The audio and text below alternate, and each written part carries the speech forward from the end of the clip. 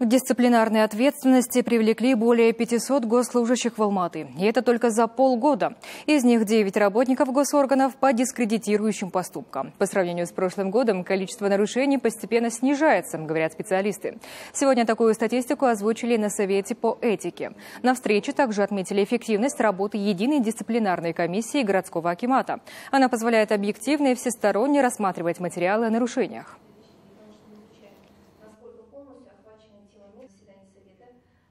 Мы хотели бы обратить внимание, что а, за первое полугодие только текущего года были привлечены 584 государственных служащих, в том числе 9 по дискредитирующим поступкам. Вот. А в целом, а, по, по проведенному анализу, по сравнению с прошлым годом, в государственных органах дисциплинарные комиссии проводятся практически в строгом соответствии с правилами наложения дисциплинарных взысканий.